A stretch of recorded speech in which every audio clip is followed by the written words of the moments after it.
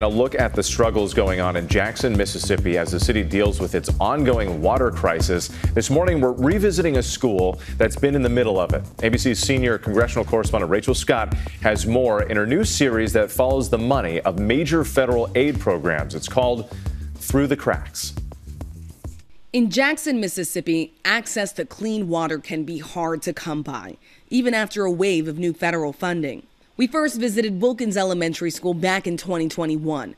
More than a year later, clean and safe drinking water is still not a guarantee. You all be careful, boys. These students were pulled out of class to help load donations of water off this pickup truck and into Wilkins Elementary. They're just 10 to 12 years old, carrying stacks of water half their size. This is the water the school largely depends on.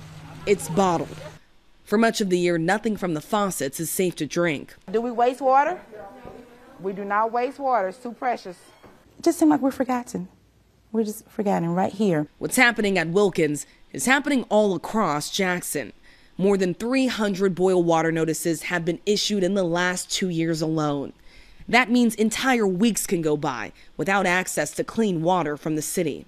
Glenda Barner is a grandmother of seven.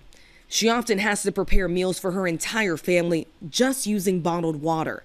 She can go through three cases of water on just one meal. We shouldn't have to go through this. We really shouldn't. But, you know, what can we do? We rely on our officials to do what they need to do to fix it. Mississippi received $429 million from the bipartisan infrastructure law to address water directly. ABC News has learned city leaders in Jackson did not apply for that funding last year only recently applying in 2023. Even without the money from the infrastructure law, the city of Jackson is still receiving more than $800 million of federal funds. Some of that is from EPA grants. We sat down with Administrator Michael Regan. You know, in a city like Jackson, we're not only rebuilding the infrastructure, we're rebuilding our trust with the community. The community has to have trust in their government. But rebuilding trust and fixing Jackson's water system will take time. Rachel Scott, ABC News, Jackson, Mississippi.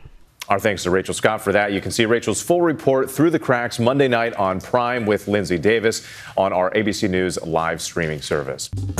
Well, hey there, GMA fans. Robin Roberts here. Thanks for checking out our YouTube channel. Lots of great stuff here. So go on, click the subscribe button right over right over here to get more of awesome videos and content from GMA every day, anytime. We thank you for watching, and we'll see you in the morning on GMA.